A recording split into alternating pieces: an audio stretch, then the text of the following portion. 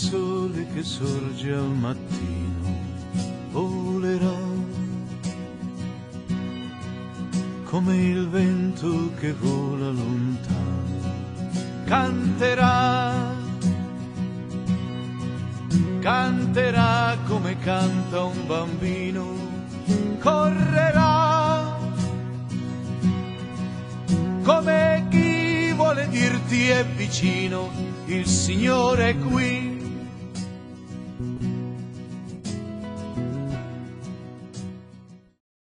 Carissimi, ben ritrovati nel nostro appuntamento di scambio, eh, di mh, esperienza di santità mh, nella Chiesa, di come l'esperienza della lettura, dell'ascolto, dello studio del Vangelo, delle parole di Gesù, metta sempre in discussione eh, una cultura, un modo di essere, una vita. Ogni anno no? viviamo questo tempo dei 40 giorni in preparazione alla Pasqua, della Quaresima, come un tempo di conversione, di ri, ripresa delle, degli elementi essenziali e poi tutti i 50 giorni del tempo di Pasqua fino alla Pentecoste, un tempo di rinascita nel dono dello Spirito, della sua fecondità, della sua ricchezza. Proprio in questi giorni in parrocchia non si eh, discuteva, eh, alcuni discutevano, ah io vorrei avere la fede di quel tale o di quel tal'altro, non perché magari molto devoto, invece io sono pieno di dubbi. E io dicevo, guardate che ognuno ha il suo, ha il suo dono, eh? ognuno di noi ha il suo carisma, a te hai dato il dono della, della, devozione, a te è dato il dono invece della riflessività, della razionalità, ma eh, sono tutti doni complementari. Lo Spirito nella sua ricchezza suscita nella comunità cristiana eh, persone, competenze, situazioni che fioriscono in una novità di vita eh, solo nel, nella misura in cui appunto stia, stiamo uniti, restiamo, è lo Spirito che fa comunione nella Chiesa così come nella Trinità. Ecco allora che i carismi di ciascuno eh, possono essere compresi e anche eh, capiti solo nella misura in cui si comunicano e, e si condividono eh, perché ognuno possa dare il suo contributo nella, nell'ottica appunto della, della, vita cristiana. E c'è un bel, una bella preghiera che troviamo nella scrittura, nella Bibbia, e che poi è stata ripresa anche da San Francesco d'Assisi, perché di fatto eh, il suo Cantico delle Creature è un cantico che affonda le sue radici su questo, su questo cantico che troviamo nel libro del profeta Daniele, eh, nel quale appunto si invita tutta la creazione a sentire questa profonda unità. Lodate, benedite il Signore, esaltatelo con grande gioia, dice San Francesco. Benedite il Signore che raduna eh, tutte le schiere del mondo, la creazione, tutti gli ordini eh, celesti e terrestri in una lode una lode cosmica, se vogliamo, no? una lode che anche gli astri del cielo benedicono il Signore, anche eh, le piogge e le rugiade benedicono il Signore. Tutto ciò che appartiene alla creazione è coinvolto in questa dinamica. E perché lo troviamo nel libro di Daniele? Perché Daniele di fatto eh, è un libro che appunto per noi è un libro profetico, nella tradizione ebraica eh, ricade invece nella categoria degli scritti perché probabilmente è un libro che, che, è collocabile nella sua stesura, nella sua scrittura molto tardo, nell'epoca del secondo tempio sicuramente, e, eh, e anche probabilmente un po' eh, romanzo storico, nel senso che racconta fatti che sono accaduti in un contesto storico non ben precisato, non ben chiaro a chi scrive e a chi legge, eh, in una situazione appunto esilica in cui eh, Daniele insieme ad altri giovani che vivono nella diaspora in questo luogo, quindi probabilmente una situazione di deportazione come quella della Siria, come quella di Babilonia, ehm, vengono istruiti alle consuetudini, agli usi della corte del re appunto pagano, del re caldeo. E questi giovani insieme a Daniele vengono appunto messi al servizio del re eh, per poter essere capaci di creare un dialogo culturale e anche una comunione di, di intenti in un regno che appunto, eh, come appunto quelli assiro-babilonesi, cercava di eh, inglobare no, le popolazioni dominate in una dinamica di reciproca ricchezza, di reciproco arricchimento, secondo appunto quel fenomeno della, del, della mescolanza culturale, ecco, eh, di uno scambio, anche uno scambio a volte anche violento, certamente, no, con le deportazioni e le plantazioni del, di, di, di, famiglie, di intere, intere città. In questo appunto strategia, se vogliamo anche certamente non solo militare ma anche colonizzatrice dell'impero caldeo. E appunto Daniele insieme agli altri giovani, eh, eh, Anania, Azzaria e Misaele, li conosciamo perché appunto ritornano in questo cantico, eh, sono istruiti alla corte del re, ma ecco, il re non, non transige sull'osservanza delle norme eh, di comportamento, per cui chiede a questi tre giovani non solo di cibarsi di eh, carni appunto ritenute dalla legge impure, ma addirittura anche di prostrarsi agli idoli, no? alla statua del re appunto elevata pubblicamente, alla quale tutti devono prostrarsi.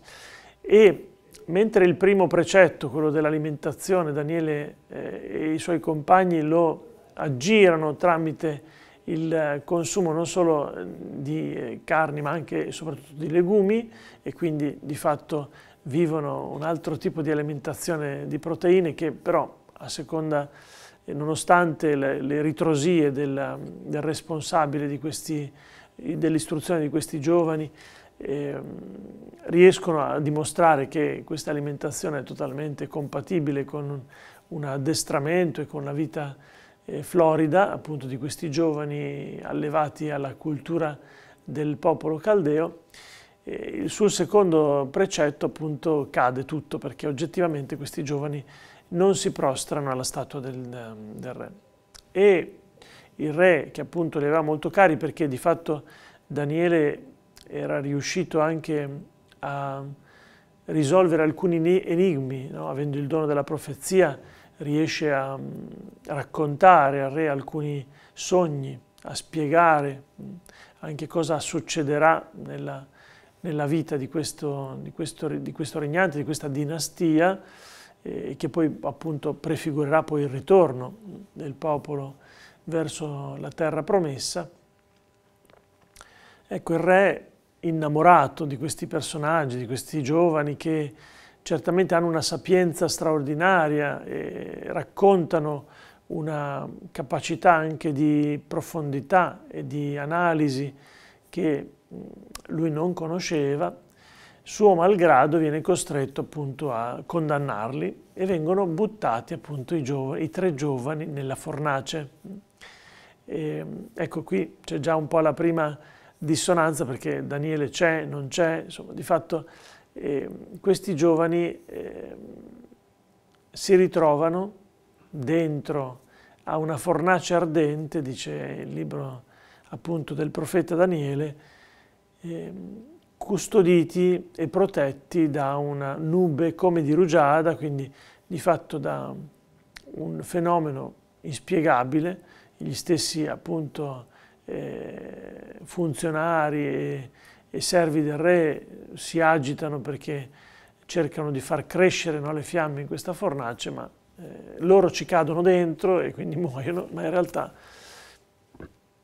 i giovani si salvano e appunto insieme ai tre giovani appare anche il, um, una figura come di un angelo, una figura che è un profeta, una figura che è una figura connotata di un'aura eh, soprannaturale che li guida proprio a uscire fuori. Quando il re appunto a un certo punto li chiama, dice vabbè uscite a questo punto perché con tutte le vesti intatte, e questo prodigio di fatto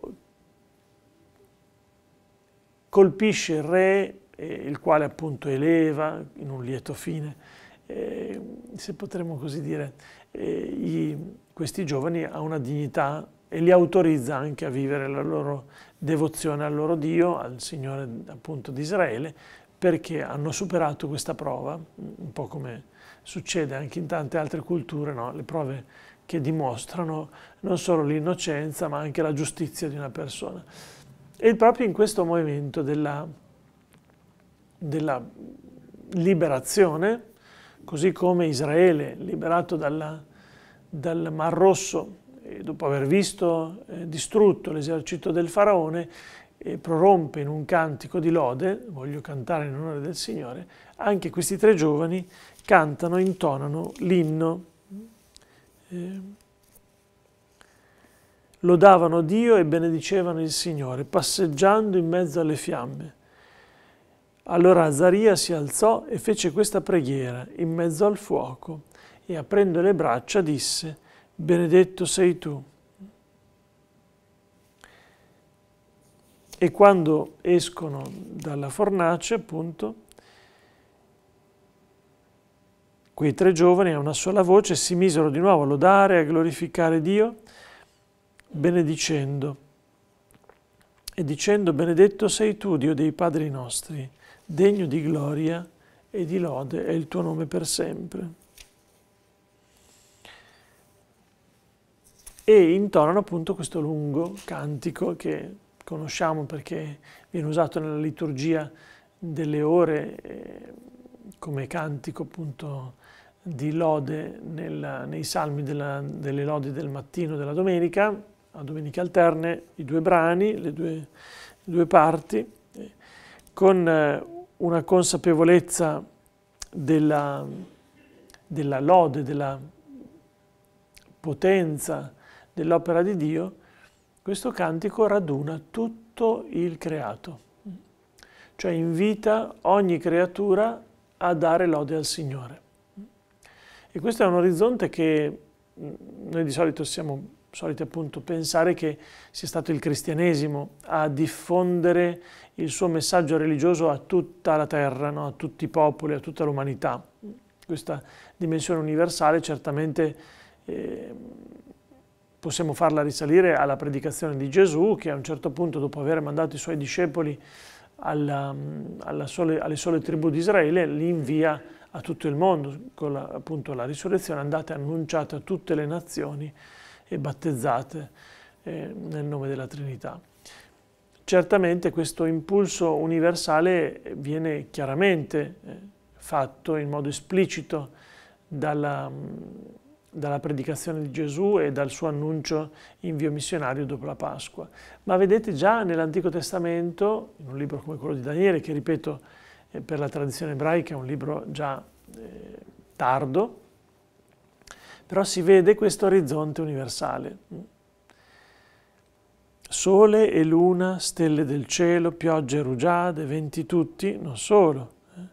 Monti e colline, creature che germinate sulla terra, mostri marini e quanto si muove nell'acqua, uccelli del cielo, figli dell'uomo, Israele, i sacerdoti, i servi del Signore, certamente, gli spiriti e le anime dei giusti, tutti i pii e gli umili di cuore. Ecco, questo orizzonte universale mm, che il profeta Daniele dipinge come l'orizzonte vero di identità della potenza di Dio, che si manifesta anche appunto eh, a Babilonia, cioè eh, sotto il re Nabucodonosor che rimane impietrito e stupito, no? a un certo punto dice ma facciamoli venire fuori questi qua perché uscite, venite fuori, voi servi del Dio Altissimo. E certamente tutti rimasero stupiti, sconvolti di questa capacità, no? di, di, questo prodigio, che è proprio l'orizzonte della missione universale. Un orizzonte che porta i cristiani a portare il Vangelo dappertutto, in ogni terra, in ogni luogo, in ogni situazione, in ogni cultura, in ogni momento della storia, consapevoli che lo Spirito di Dio previene l'annuncio missionario.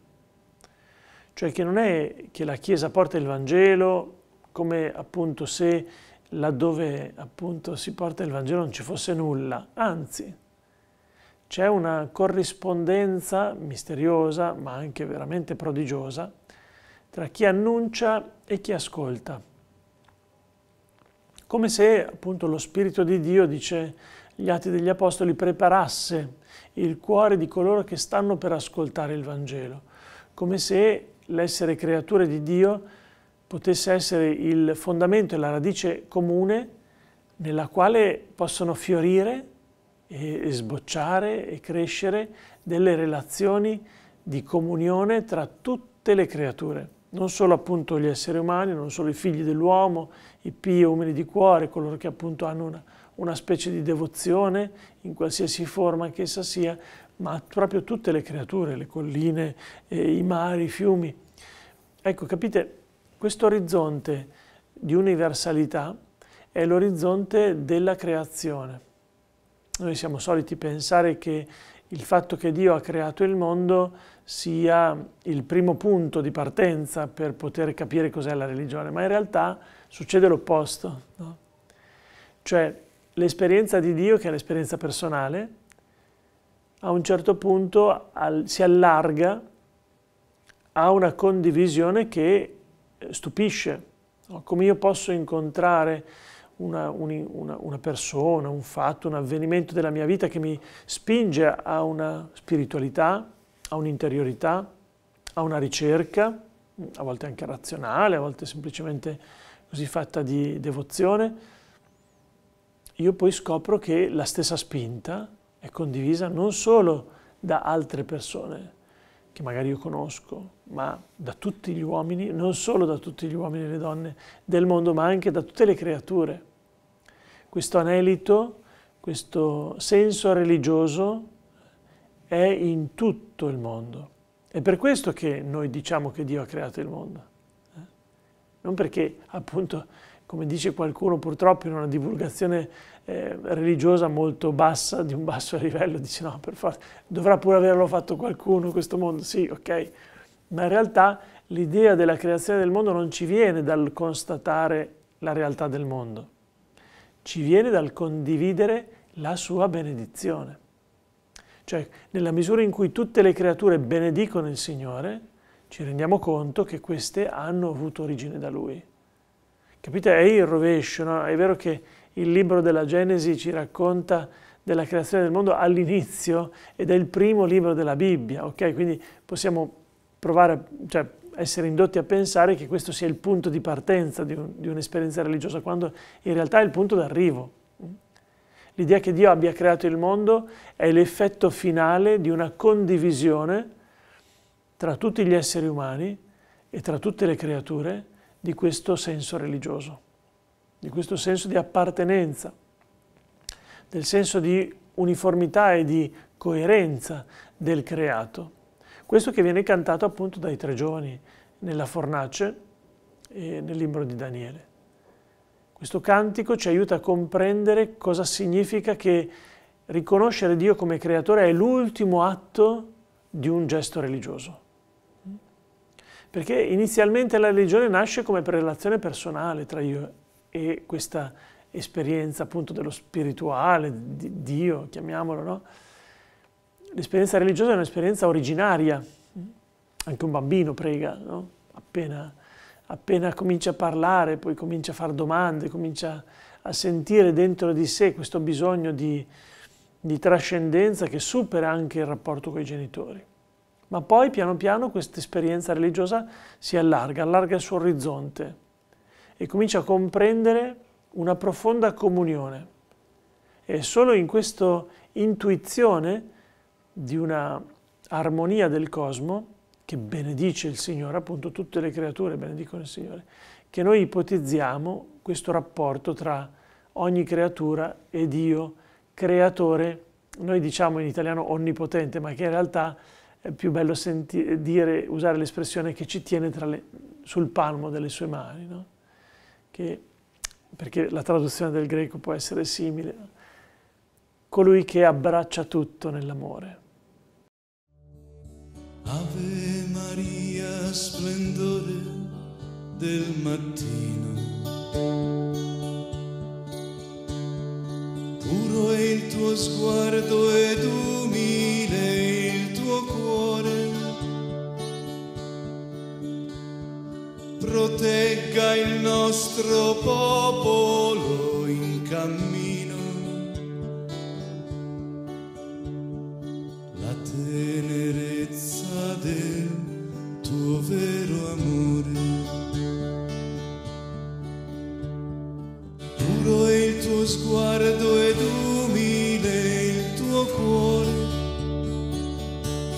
Protegga il nostro popolo in cammino.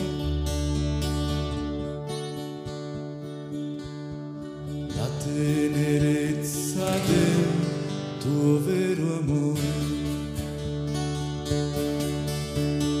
Protegga il nostro popolo